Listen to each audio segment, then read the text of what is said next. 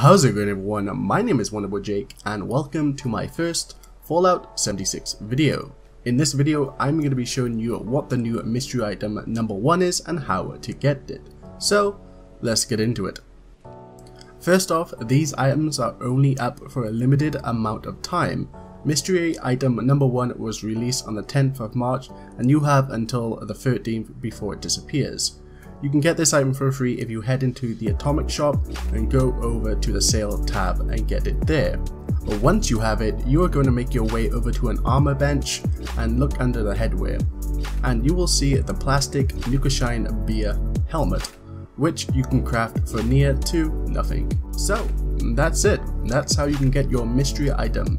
It seems like Bethesda are going to release two more mystery items the next one you can get will be on the 13th until the 16th, on which we are going to get another new mystery item. I have a screenshot on screen so you can have a look for yourself.